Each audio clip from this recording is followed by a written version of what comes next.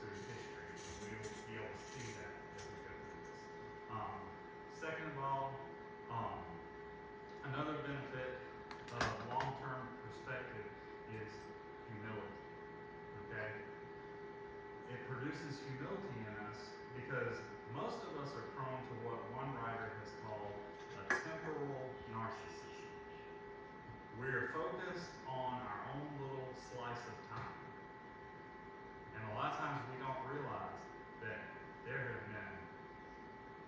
of giants that we are riding on the shoulders of that were smarter, holier, sometimes more zealous for biblical truth, and a lot more humble than we. And so seeing that can sometimes breed a, a humility in us to not be so wrapped up in just our own time.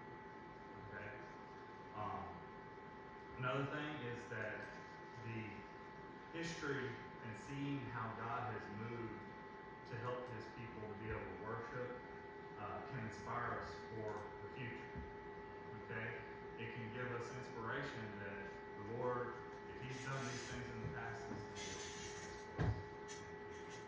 And then, um, lastly, congregational worship today can then be helped to be more biblical, more effective, and glorifying if we have an awareness of these things. So, first place I want to look at is congregational song in the New Testament. Okay? First of all, I want to say right off the bat, there are not a lot of specifics. So, like, if you were looking for sheet music in the New Testament, it's not there. Okay? If you were looking for what type of instruments they used in the New Testament, it's not there. Um, and so, um, there's a good reason, though, for that. Uh, one, God has excellent reasons for withholding such specifics. Because if He'd have put those specifics in, what would we do?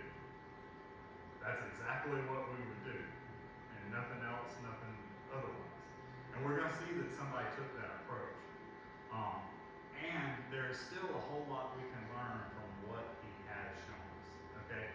So, some examples from Scripture I put there. I didn't put the actual references for these, but I will mention some of them as we go through it. Um, first of all, the Lord's Supper, or Jesus' last Passover meal with his disciples. Every time we have communion in the Lord's Supper, what do we say at the end of that passage? When they had finished, they sang a hymn and went out. And they were going out to the Mount of Olives.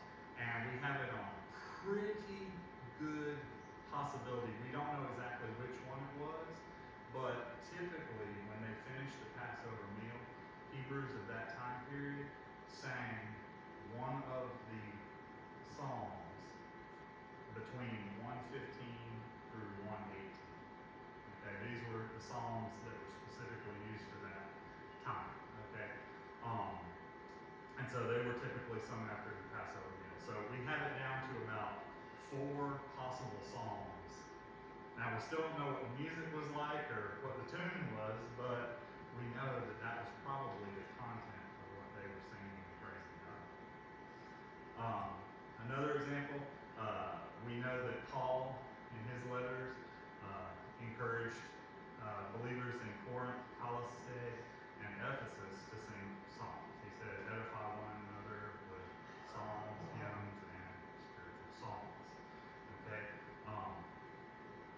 we also see little passages of verse in Scripture related to different things. Um, once again, we don't know any tunes, but uh, the songs of those that were around Christ's birth. So we see a song on the lips of Simeon in Luke 2 28 through 32 when he comes and encounters Christ after that prophecy that he knew that he would get to see the Lord before his time was over. Uh, he praises God in that moment when God fulfills that prophecy. Uh, Mary in Luke 1 46 through 55, she has her what some uh, denominations call the Magnificat. It's basically where um, Mary says, My soul extols the Lord, praises the Lord, magnifies the Lord. Um, and so these are two, because they're written in verse and such, we can assume that these probably a song that they used in praising God. Um, then we also have uh, New Testament hymns in terms of little uh, fragments that refer directly or indirectly to who Christ was or what he did. Uh, we mentioned Mary already. Uh, we have the angels and the shepherds at the birth of Christ uh, that sing glory to God the highest and peace on earth to men. And then we recently went through Revelation and the letters of Revelation. But if you go to the next about four or five chapters in Revelation, four through eight, there are at least seven different little patterns of that are written in verse that are probably songs that are recorded there in Revelation. Um, I'll give you some examples of these. Revelation 4, verse 8, if you want to look there. Um, and we know this one very well. It talks about the four living creatures, and it says, Day and night they never stop saying, Holy, holy, holy is the Lord God Almighty, who was, who is, and who is to come. From which we get number 68 in our hymn book. Holy, holy, holy. Uh, if you go on down from chapter 4 to verse 10 through 11, it says, The 24 elders fall down before the one seated on the throne, worship the one who lives forever and ever, cast their crowns before the throne, and say, Our Lord and God, you are worthy to receive glory and honor and power, because you have created all things, and because of your will they exist and were created. Now, here's the interesting one about this. Okay, I'm going to briefly do these. We have hymn number 311 in our hymn book. All hail the power of Jesus' name. That comes, is inspired by this passage here. Uh, that was written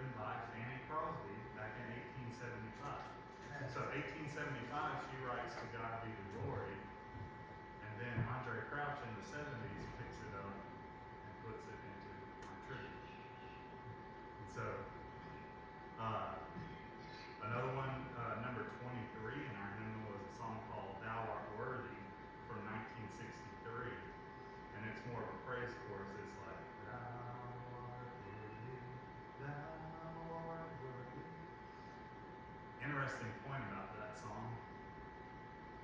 There was, uh, the lady that wrote the song was actually a musician for an evangelistic tour that was going on at the time. And her son, at the meeting one night, told the congregation to offer up their favorite scripture passage. And without telling her in advance, the, the son said that his mother would write music for it before the service thou art worthy was the result of that. Okay? How would you like if your children did that to you? Be like, yeah, they're gonna still be waiting on that song. Okay? Um, and then number three in our hymn, Worthy of Worship, in our hymn uh, from 1988. is another one of those that's pulled just from this little 4, 10 through 11 in Revelation. Uh, you go down to chapter 5, chapter 5, 9 through 10. It says, and they sang a new song. Now, the other one said they said, so I guess you could argue that they weren't songs. But here, in verse 9 of chapter 5, it says, and they sang a new song. You are worthy to take the scroll and to open its seals, because you were slaughtered and you redeemed people for God by your blood, every tribe and language and people and nation. You made them a kingdom and priests to our God, and they will reign on the earth. From this we get uh, number 633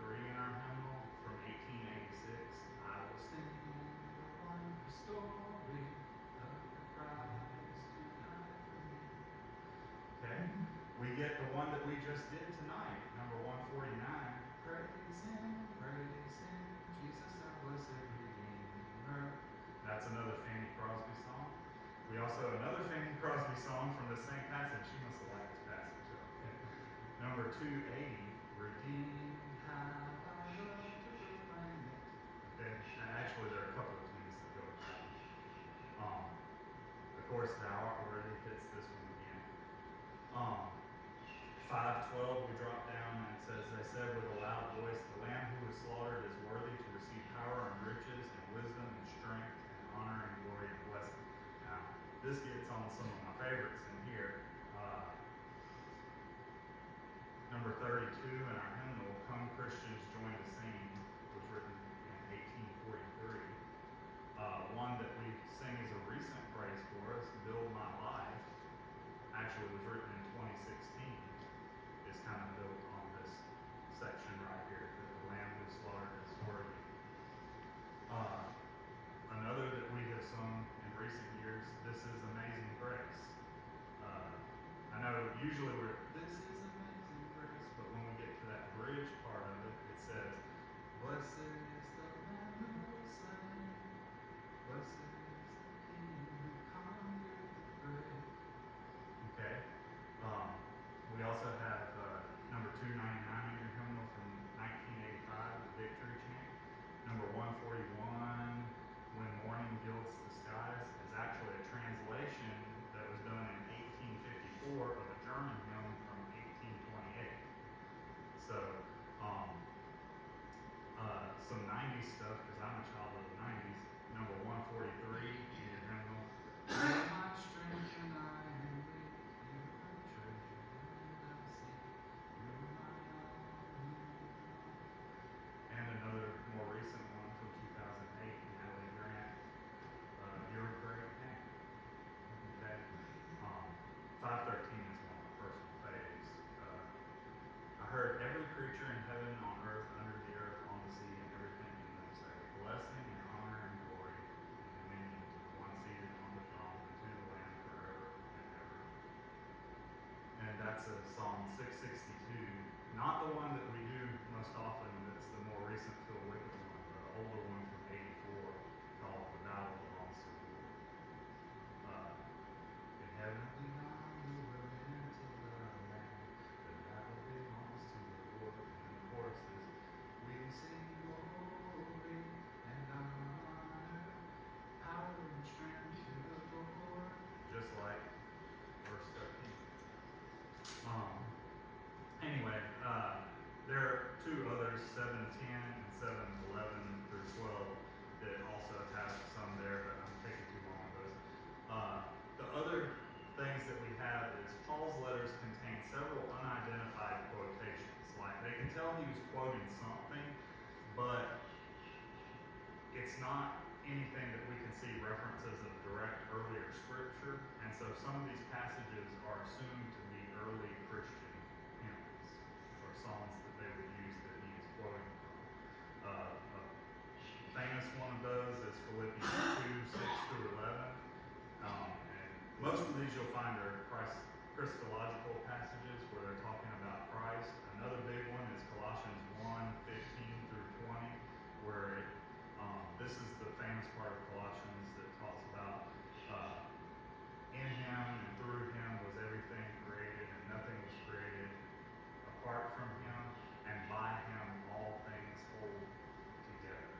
And so it talks about the very nature of the deity of Christ. From that Colossians passage, we get everything from uh, the Christmas carol, the first Noel,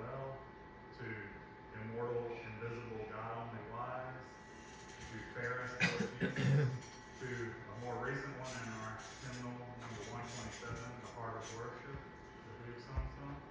Um, and so uh, there's just a lot of these things. Another thing we can learn from the New Testament about this is that whenever God's people were singing, the Holy Spirit was mentioned or was manifest within that home. Especially Ephesians 5, 17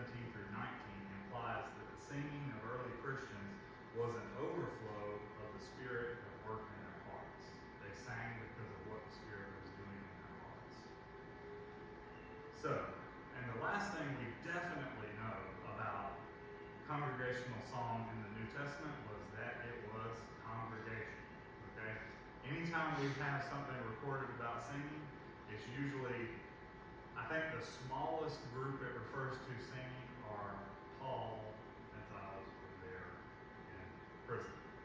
Okay? And that was just a group of two. But all the other times it's when the churches gather, when they're together.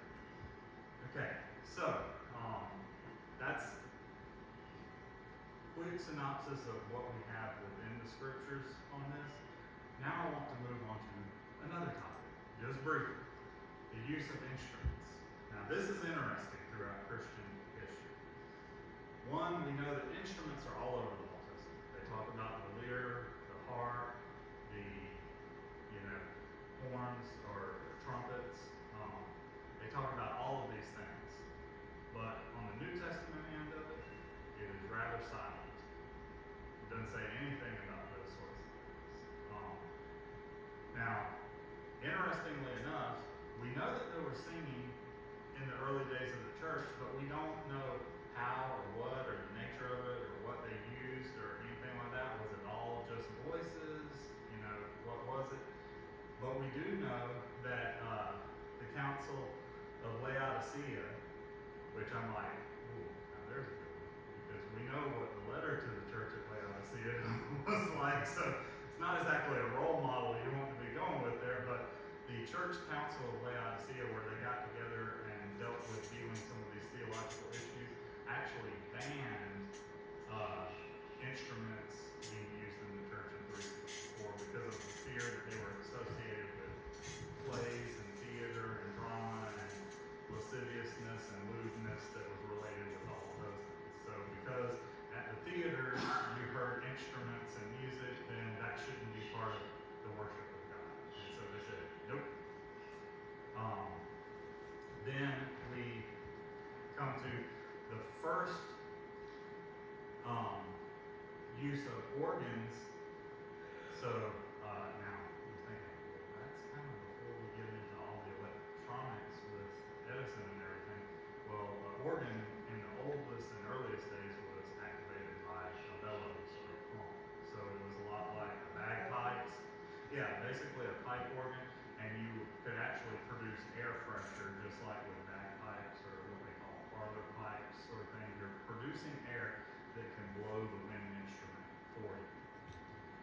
And so the organ began to be prominent in either, in Catholic history, they say that a certain pope instituted it in the 7th century, but a lot of scholars argue about that and say no, it wasn't really widely accepted until about the 12th century. So from the 4th century, 300, where they were banned, up until about the either 7th or 11th or 1100s, the 12th century, it was four or five hundred years before instruments were really regularly allowed back in the church for worship. Uh, another interesting point on the use of instruments, the piano was actually considered unfit for worship until the early 20th century. They weren't actually created until the 1700s. Um, the actual name for a piano comes from the term piano forte. Uh, has anybody ever heard a harpsichord? A harpsichord, you can't really control the ball. It's just loud, okay? No matter how you play it, it's going to be loud. And so, the Italian name piano means soft, forte means loud. And so, initially they were called piano fortes because it was revolutionary that now we had something like a harpsichord that we could control the volume level, that you could have dynamics of sound. But once again, because it was mostly used in more secular entertainments, it didn't really gain acceptance until the early 20th century for church and worship. The organ was still uh, the king. And part of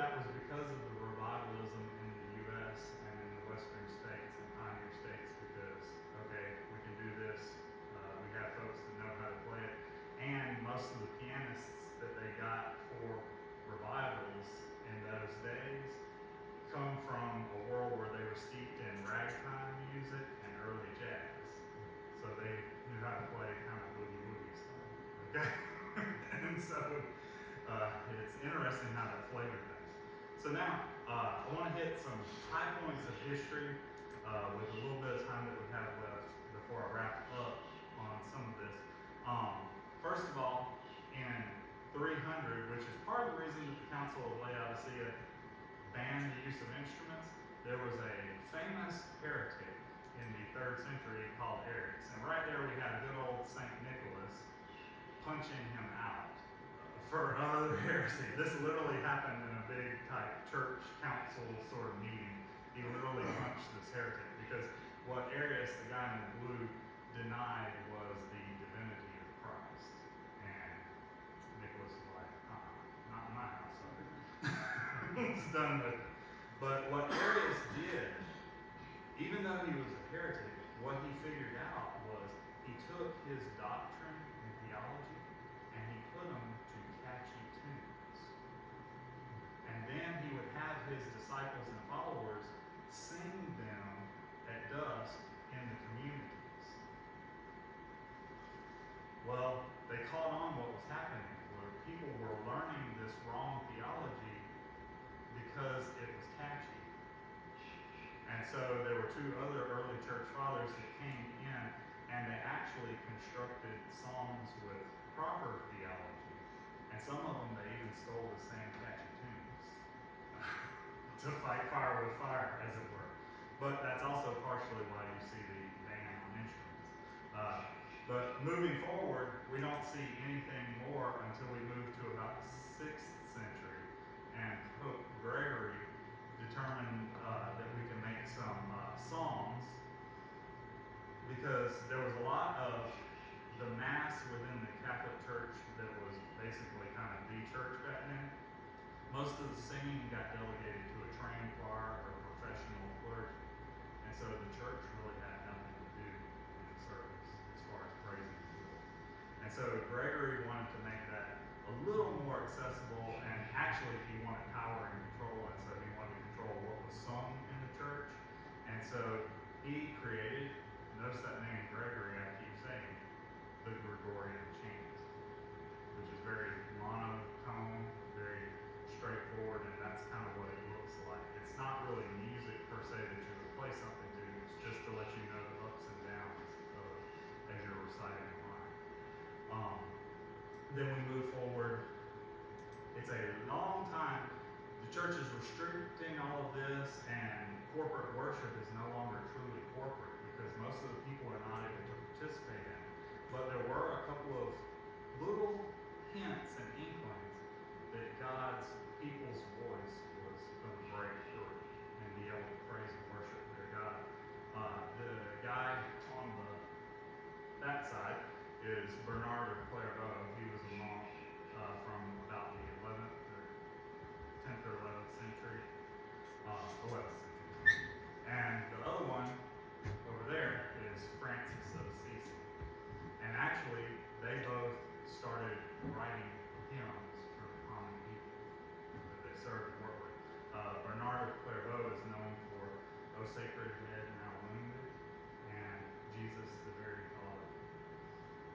Francis of Assisi, his one of his songs is even still sung in and adapted today.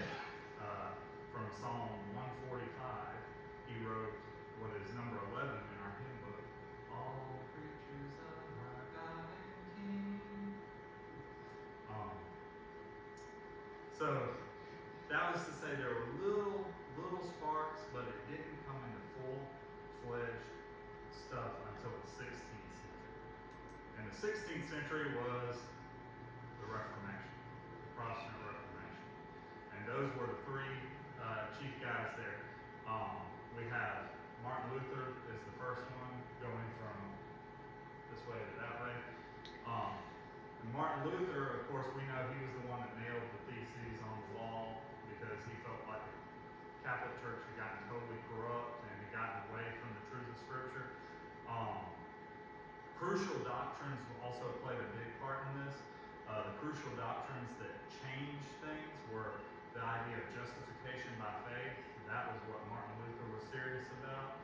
Uh, the priesthood of all believers, because for years and decades and centuries, there had been this professional clergy that was like a barrier or a you have to go through them to get to God sort of thing. And that's not what Scripture teaches, teaches a priesthood of all believers, that we have access to boldly go before the throne of God. And so, the priesthood of believers and the authority of God's Word. Uh, because at the time of the Protestant Reformation, the other thing that happened was the Gutenberg printing press. And so finally, we could get the Word into the hands of the people, and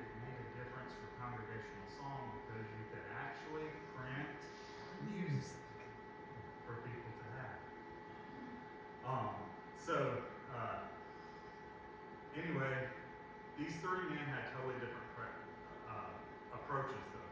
Martin Luther felt like there are some redeemable things about Mass as it is, so we're just going to take out the bad parts and we'll put in things to replace it. The guy in the middle is Ulrich Zwingli, and he was probably a better musician than Martin Luther was, but he feared the power of music, so he completely banned singing within his churches. Uh, John Calvin, he took the opposite take from Luther when looking at Catholicism and the Mass. He said, Nope, there's nothing redeemable here. Let's throw the baby and the bathwater out, and we're just going to start clean and fresh. And so from him, even nowadays, you have folks that are in what they call a Reformed tradition that believe in what they call the regulative principle of worship. To where if it's not here in Scripture, we don't do it far as. Um, the problem with that is when Calvin was doing that, that left him with only making music of the Psalms, basically. And so he made them a little bit more metrical, but he wanted his hymns to be monophonic, no harmony, so it's just one straight line of thing. Uh, one note for every syllable of the text, no instruments. Now, interestingly enough, he's already got into these restrictions. Are any of those restrictions in Scripture? No. so he's already adding to, and it hadn't taken, you know, very long to do that.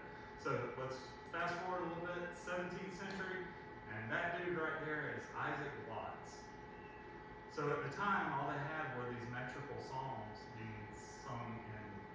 Protestant churches, and the practice was what they call lining out, where each line of the psalm verse was recited or often sung by a leader, and then the congregation would follow and repeat it back. So it was basically a good old-fashioned call and response, but that was everything. That was all they did. Okay? Isaac Watts, when he was young, he came home one Sunday complaining that the hymns are dull and lifeless. And his father said, Okay, think you can do it better? Then write something better. Next Sunday, he had hymn for the church. um, and as they say, the rest of the story, he became the that became the first of more than 650 hymns he would compose for the church by the time of his lifetime. Some of those that are in there are Joy to the World and Oh God, Our Hope in Ages Past. Okay? So, by the 18th century, singing came from three primary sources. Can't talk. Sources. Okay? You had metrical psalms, you had the hymns of Isaac Watts, and you had a newer feller on the block by the name of Charles Wesley. Charles Wesley was the brother of John Wesley, and they made quite a duo. Charles Wesley, from his conversion in 1738 until his death 50 years later, he averaged almost three hymns written. By the end of that life, he had written over 6,500 hymns for congregational. Yeah. And some of them, and, and they're not, you know, just obscure things. He wrote Hark the Herald Angels Sing. He wrote Oh for a Thousand Tongues to Sing, which eventually a refrain was added to to make our Blessed be the name of the Lord. He added Christ the Lord is risen today. And this one's really funny. He added what in our hymnals number 167, Jesus, lover of my soul. His brother John didn't want him to publish it because he felt it was too emotional and sensual. Oh, Jesus, the lover of my soul. so, yeah, yeah. But the thing that Charles Wesley added to the mix was he threw open the door for emotion to be Christian worship. Up till then, everything had just been objective truths about God and to God from Scripture, pretty much. And he added some of the emotional experience to the. That we don't just love God with our head, we love Him with our heart, too. Okay? Um, then the 18th, 19th century, the Spirit would not be contained anymore. Um, partially in reaction to uninspired congregational singing from the metrical psalms and things of that nation, nature, uh, pastors and songwriters sought to stir hearts and ignite affections because of the new emphasis on evangelism and revivalism that was coming in the 1800s. Okay? Uh, the guy on the left with the snazzy beard chops, the mutton chops there, that's Ira Sankey. And he was actually the musician that became part of a trend of having a musician and evangelist team that would go out during the revivalism days. Guess who he was partnered to? Well, he's in that picture on the far right, and that's D.L. Moody. So Ira Sankey was D.L. Moody's music minister out on the trail evangelizing. Um, but Ira Sankey also contributed to us a lot of tunes for songs. Uh, one that he contributed was from number 521, Faith is the Victory. Oh, glorious victory that overcomes the world. Um, evangelism and revivalism exerted a major influence here in America, partially because newly converted settlers were often poor. They didn't know a lot about music that had come before them, and their worship was through simple folk-like songs with repetitive lyrics, and usually we're just talking about salvation, heaven, or the effects of the Holy Spirit. Sounds kind of similar to today, doesn't it? You know? Um, revivalism's movement effect was spread by events like Cane Ridge and uh, the hymn writing of that time got where it was kind of more weak in content because they were focused more on the emotional experience of salvation. Um, it was strong in emotional expression and it had words and tunes that anyone could learn quickly and easy so that you could just pick it up and have it, even if you didn't have a song book with it. Okay? But no writer contributed more than that lady right here in the middle with her blind glasses on. That is Miss Fanny Crosby. She was a blind composer that wrote over 8,500 hymns, including Blessed Assurance, Jesus Keep Me Near the Cross, and Praise Him, Praise Him we sang tonight. That was Fanny Crosby. Nope. She it's not the best picture. Okay. So all these things led the way for finally the 20th century to come around. And in the 20th century, we got a lot of things. Right as the 20th century kicked off, that first building that you see is actually uh, a building on Azusa Street, where the Azusa Street outpouring and revival occurred, which was a big and important event in the lives of Pentecostal and holiness folks, a big outpouring of God's Spirit. Um, you have uh, the evangelist once again, and if you see there in the middle picture, that's a very young Billy Graham with his two music guys that always accompanied him in the early days of his crusades George Beverly Shea and Cliff Barrows. Okay? Um,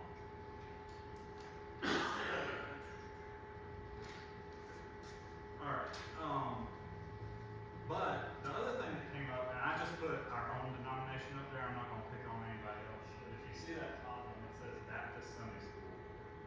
The proliferation of the ability to publish materials meant we could finally make a lot of songbooks. We could start making hymnals and things of that nature.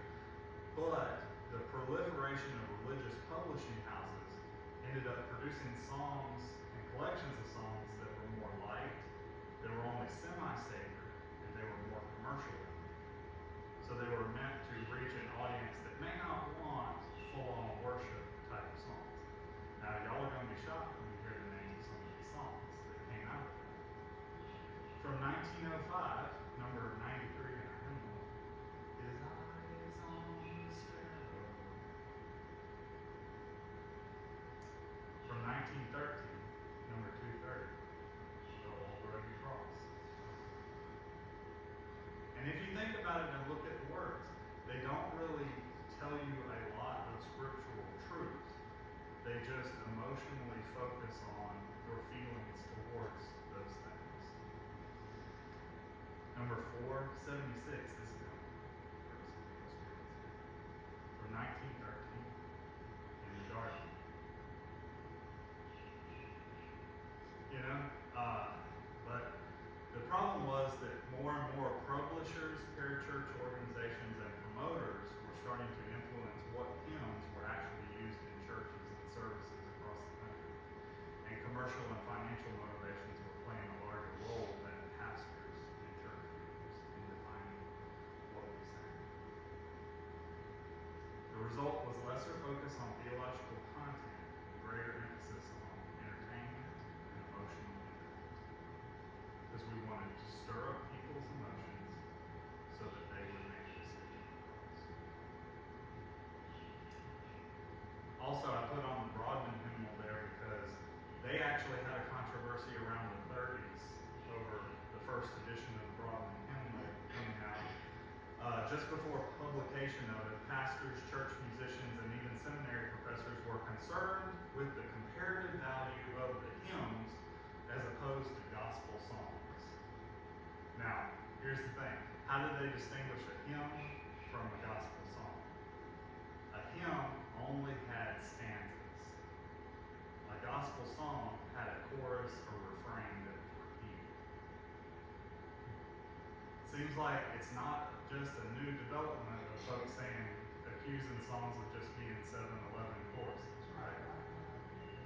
Yeah. Well, if you look across all of the Baptist hymnals, they did a study, and if you use that de- definition, we're 50 50 hymns versus gospel songs, according to that definition. Now, if you change up the definition and define a hymn as something that is directed to God versus a gospel song as something that's singing about God, it ends up 60% in favor of gospel songs, 40% in favor of hymns. Because we do more singing about God than we do singing to God. Okay?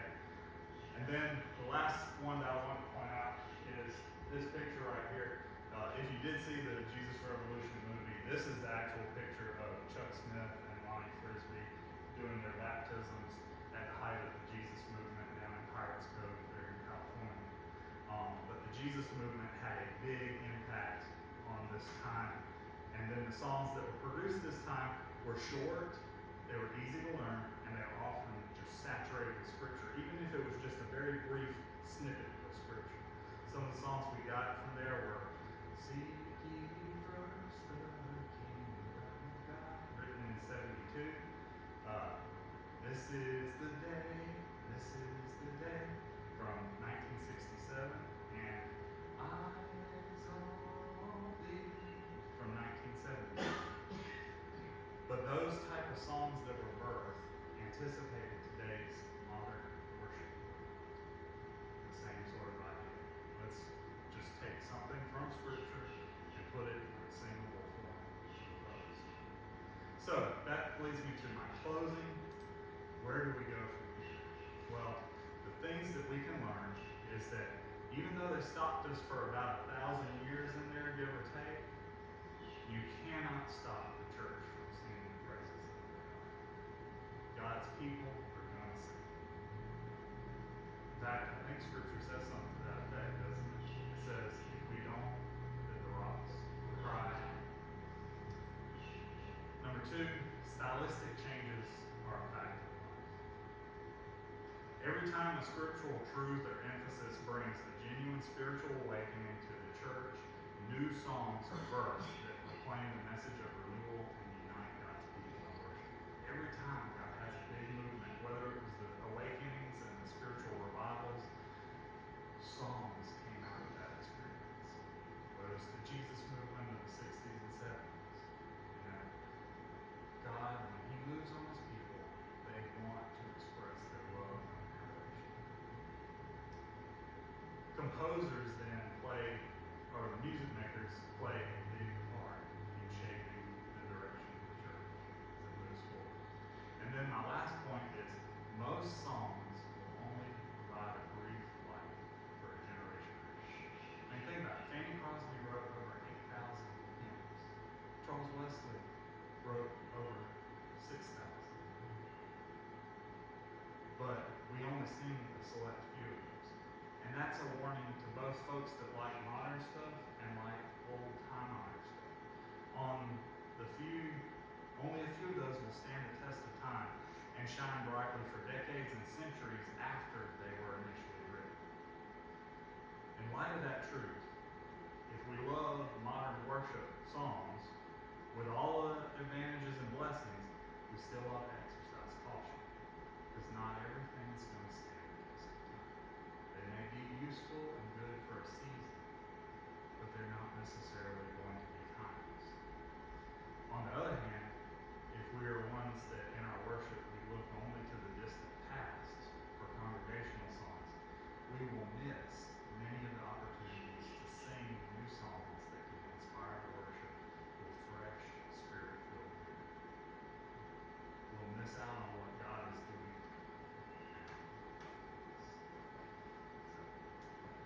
So just something I wanted to share